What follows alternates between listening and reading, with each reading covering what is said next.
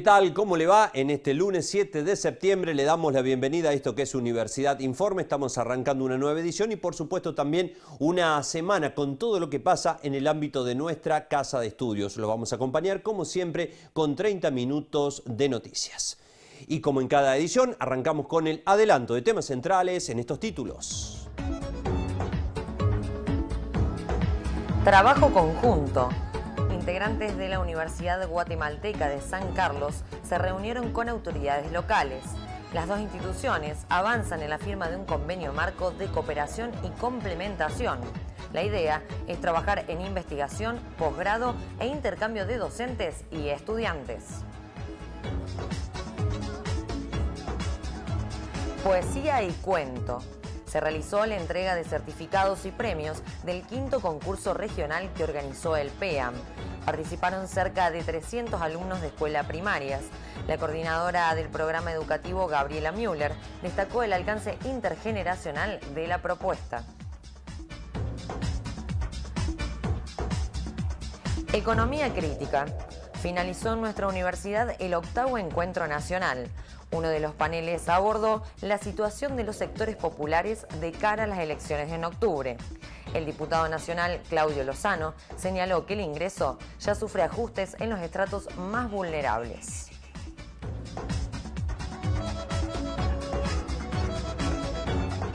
Empezamos el desarrollo de las noticias. Lo primero tiene que ver con una visita destacada que hoy recibieron las autoridades de nuestra universidad. Estamos refiriéndonos a docentes y también dirigentes de la Universidad de San Carlos en Guatemala. Una de las visitantes así explica inicialmente y de manera sintética cuál es el objeto de su presencia por tres días en nuestra ciudad.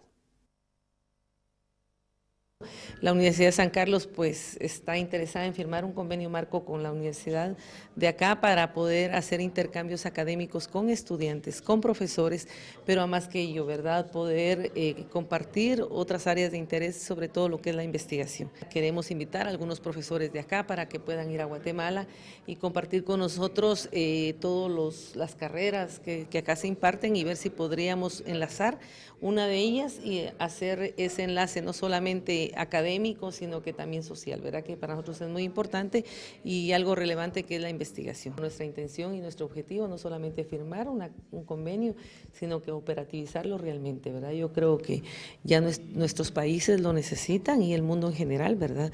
Yo creo que vivimos quizás en polos diferentes, con mucha distancia, pero con las mismas necesidades y los mismos sueños como seres humanos, ¿verdad?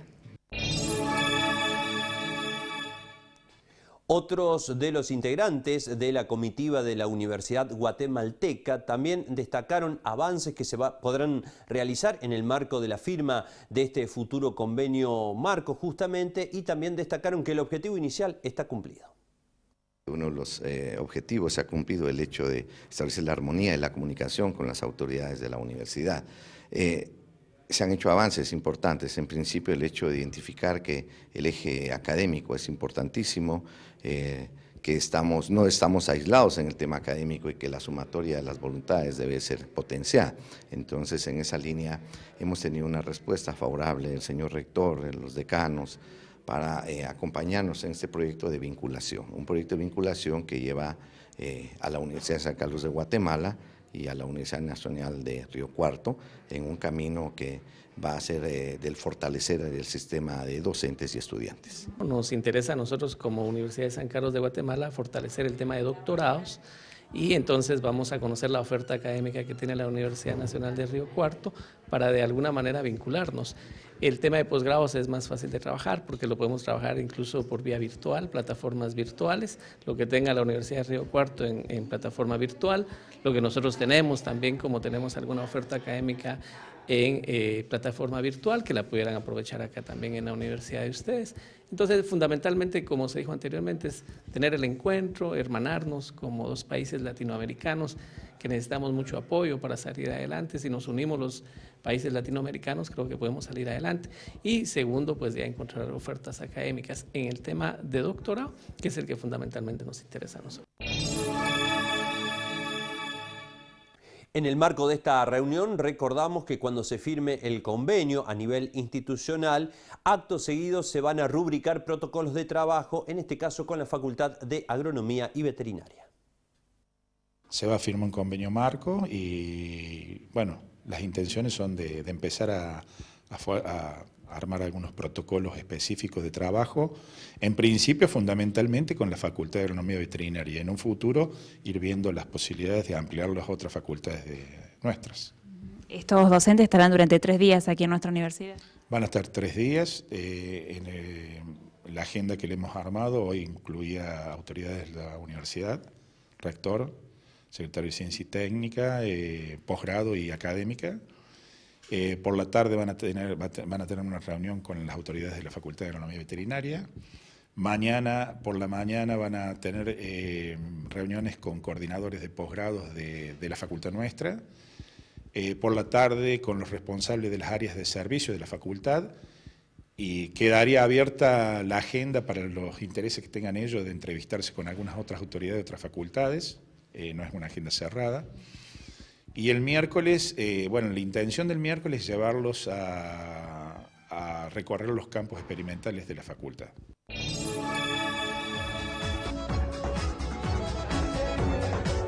Gestión y administración, herramientas informáticas para negocios. Se titula el curso que tendrá lugar el 8 de septiembre de 19 a 22 horas en el CESIS. Estará a cargo del licenciado Sebastián Ruiz. Uso de planillas de cálculo será el eje principal. Para realizar consultas, ver la página www.eco.onrc.edu.ar. Momento ahora de hacer la pausa, la primera, ya volvemos.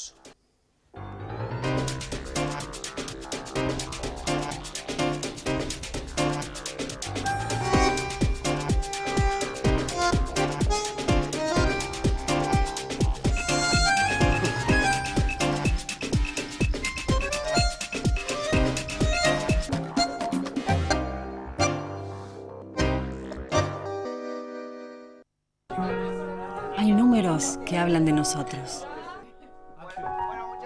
Números que cuentan pequeñas alegrías. Y otros que cuentan grandes momentos. Hay números que nos llenan de orgullo y otros de dignidad. Hay números que nos suman y números que nos multiplican. Pero también hay otros que nos restan.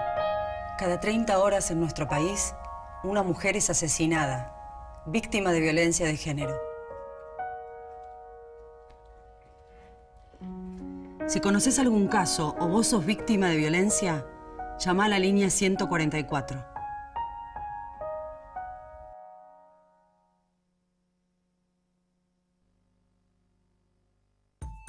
Paula y física. Isaac Newton dijo que lo que sabemos es una gota de agua y lo que ignoramos es el océano. Esa inmensa curiosidad por lo desconocido me llevó a estudiar esta carrera y a convertirme en una experta física de las profundidades marinas.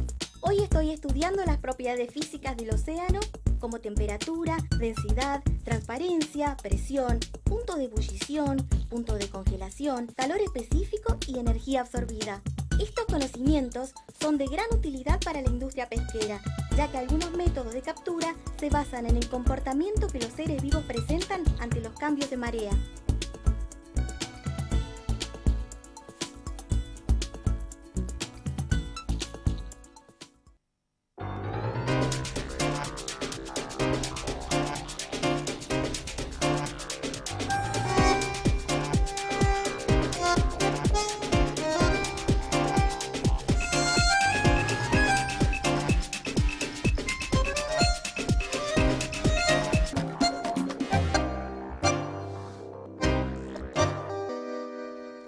Segundo bloque de Universidad Informa. Ahora nos vamos a situar en el ámbito del Salón Blanco Municipal porque ese fue el escenario en el que se realizó la entrega de certificados y también de premios en el marco del quinto concurso regional de cuentos y poesías que organizó el PEAN. Allí estuvimos y aquí están con todos ustedes algunos de los fragmentos respecto de esa ceremonia muy emocionante, por cierto. Una alegría enorme, tremenda, estar participando, acompañándolos a ustedes en nombre del PEAM personalmente, pero también darles el mensaje de la alegría que significa para la conducción de la Universidad Nacional de Río Cuarto que ocurran estas cosas en la ciudad, en la comunidad, a partir de eh, nuestro querido eh, programa eh, de, que es el PEAM, que todos lo conocemos así, que es un programa educativo de adultos mayores, pero que no se reduce a em, actividades en las que los adultos mayores, como este evento lo, puede testimoniar, es un programa que involucra las actividades intergeneracionales y este es un testimonio impresionante y valiosísimo de eso. Hace dos años se hizo un taller literario al que participamos y bueno, ahí nos centraron, hicimos, practicamos y pusimos en juego algunas técnicas de escritura y bueno, ahí quedó más claro para dónde ir. De todas formas, siempre la invitación es abierta. A los chicos no los obligo a participar en el concurso. Y eso está bien porque cada, realmente los trabajos que llegan son de corazón, con ganas. Y este año ya estaban preguntando cuándo empezábamos a participar. Así que bueno, están las ganas de participar. Bueno, y yo como docente, tener esta oportunidad de que mis alumnos escriban para participar o para que sus trabajos sean leídos eh, es impagable. Así que muchísimas gracias a todos, muchísimas gracias siempre por la invitación. En una cartuchera vivía con todos los colores un lapicito negro, muy presumido. Era así porque era nuevo y prefería a su dueño los lápices de colores. Se enojaba porque el lápiz negro siempre dibujaba primero y después les tocaba ellos pintar. Poco a poco se fue quedando cortito y chiquitito. El, lapicito estaba triste y asustado por su tamaño. Se escondía entre la regla y la goma. Ya casi no lo usaba su dueña. Un día la dueña lo buscó y le puso un hilito. Ahora volvió a ser feliz, porque lo usaban para escribir mensajes importantes en una anotadora de heladera. Una.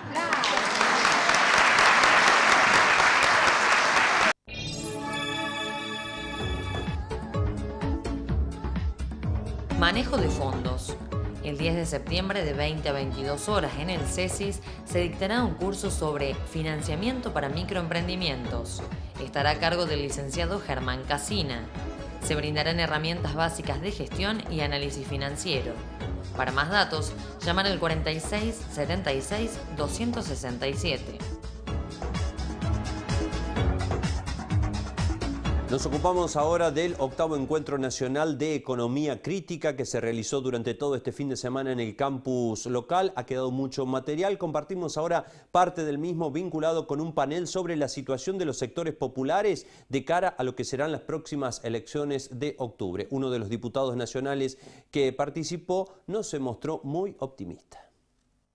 Eh, habida cuenta de quienes eh, aparecen hoy como, como posibilidad concreta de gestionar los, los destinos económicos de la Argentina, por lo menos nosotros no tenemos una, mirada este, positiva. En primer lugar, creemos que ya hoy eh, las condiciones de empleo e ingresos de la Argentina se han comenzado a resentir.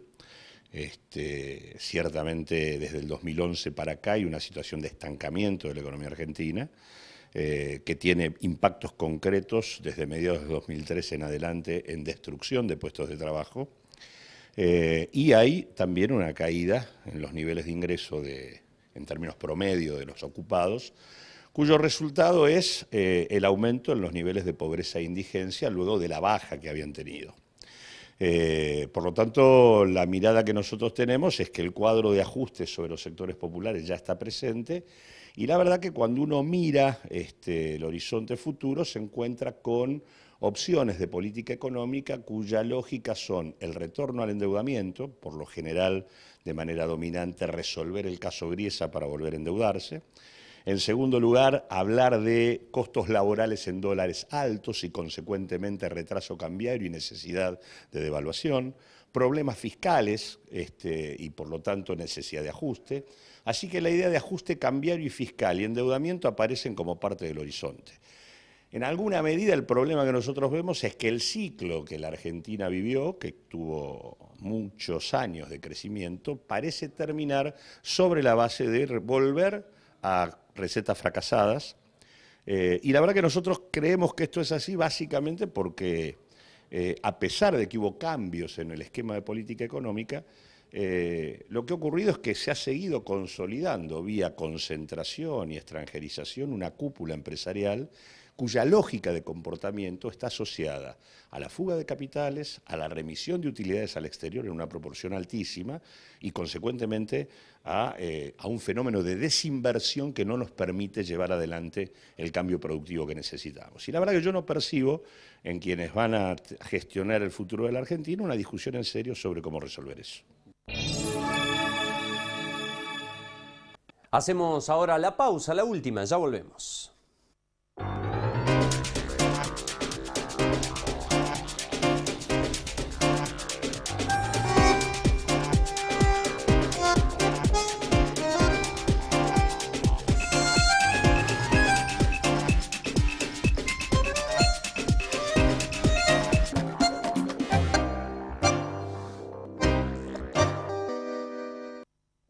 Tenés ANSES cuando nacés.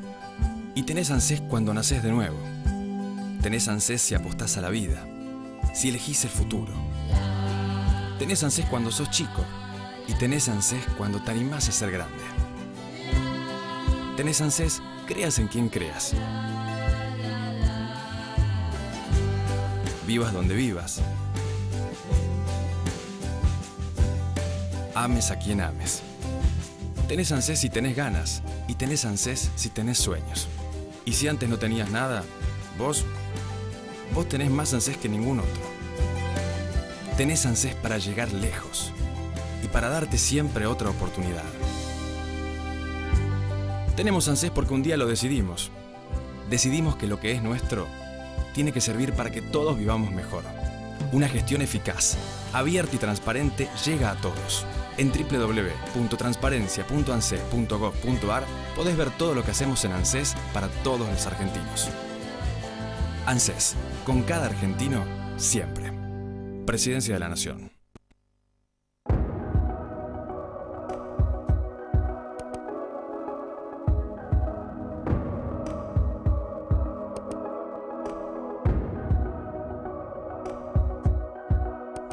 Aprendí una cosa muy sabia que es aquello, cuando la gente se da con toda clase de gente, este, aprende de que uno no es más que otro y que todos tenemos nuestros grandes problemas.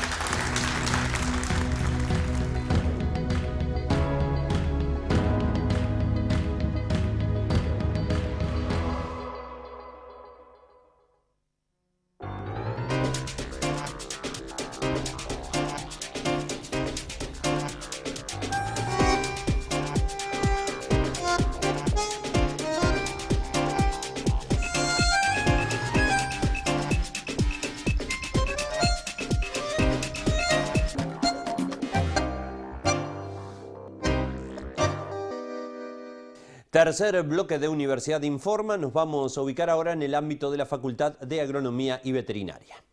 Hace algunos días compartíamos con ustedes instancias de una jornada de capacitación en avicultura que se había realizado en San Ambrosio. Lo propio sucedió después en San Pacho, ahí también estuvimos. En primera instancia compartimos ahora el testimonio de uno de los productores que se llegó hacia esa instancia capacitadora de la facultad mencionada, habla respecto de las características que hacen a su producción y también opina del curso que dio la universidad.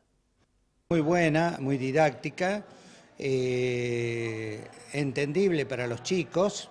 Eh, espero que si sigue así eh, va a ser de un alto nivel. ¿Usted se dedica a esta actividad? ¿Cómo es el desarrollo en esta zona?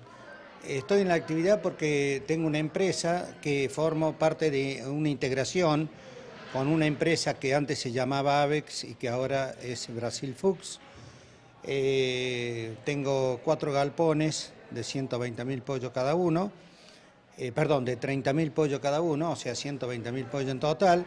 Y bueno, este, eh, todavía estamos pagando un crédito, lo que en este momento no, no es rentable la actividad porque uno está pagando crédito.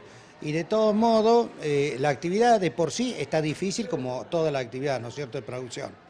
¿Por qué? Porque el pollo no aumenta y, los, los costos de producción, la luz, la electricidad, em, los empleados aumentan y el costo del pollo no aumenta como, como en toda actividad.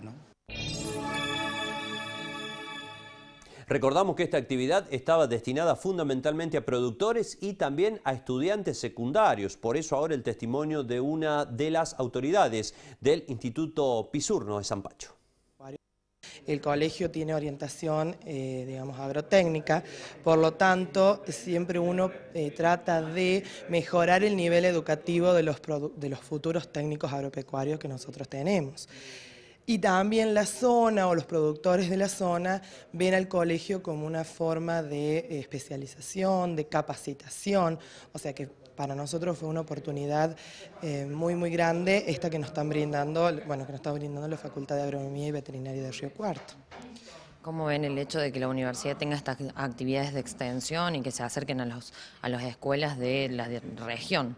Para nosotros es un gran apoyo.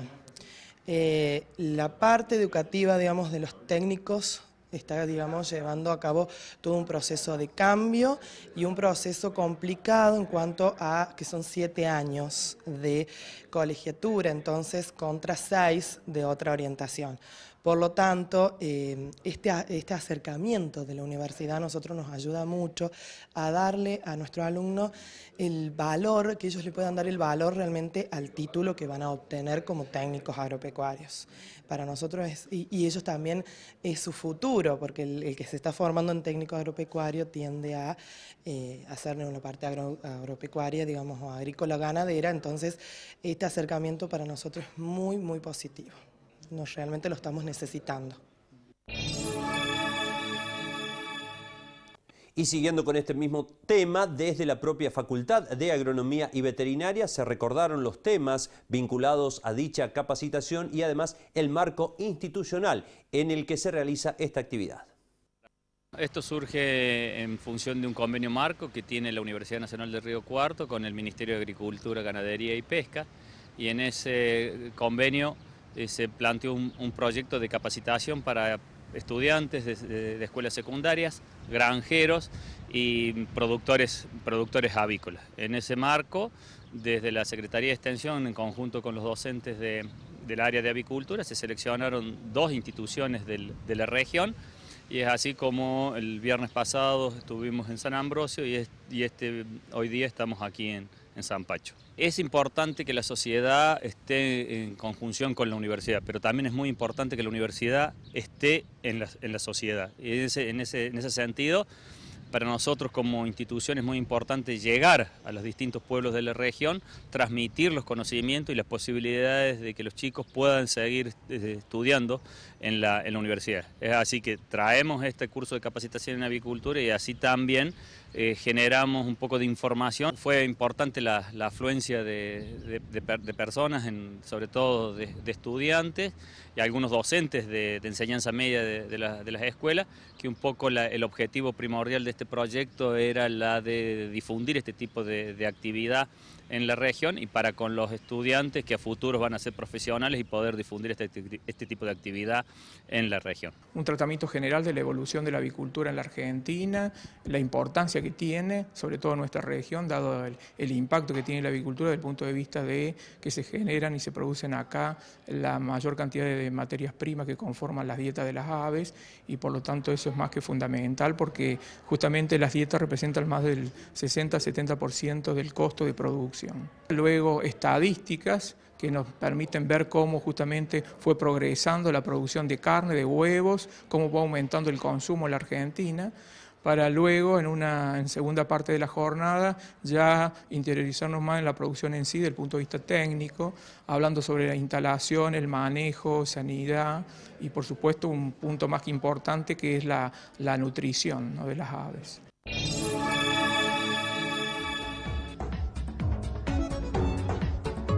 Doctorado. Diseño de experimentos, principios básicos y modelos de análisis. Se titula el curso que se dictará del 28 al 30 de septiembre. Las jornadas de trabajo serán de 9 a 13 y de 14 a 18 horas. Estará a cargo de la doctora Mónica Balsarini. Las inscripciones se pueden realizar llamando al 4676 209. Última información tiene que ver con el sindicato no docente porque ATURC convoca a sus afiliados para una asamblea informativa que se va a realizar mañana en alguno de los anfiteatros del pabellón 2 del campus. Eso se va a determinar minutos antes de la hora 11, que es precisamente el horario previsto para el inicio de esta asamblea informativa con temas varios. Con esta noticia marcamos el final, por supuesto, como siempre, agradeciéndole y mucho habernos permitido ser su compañía desde las noticias universitarias. Hasta mañana.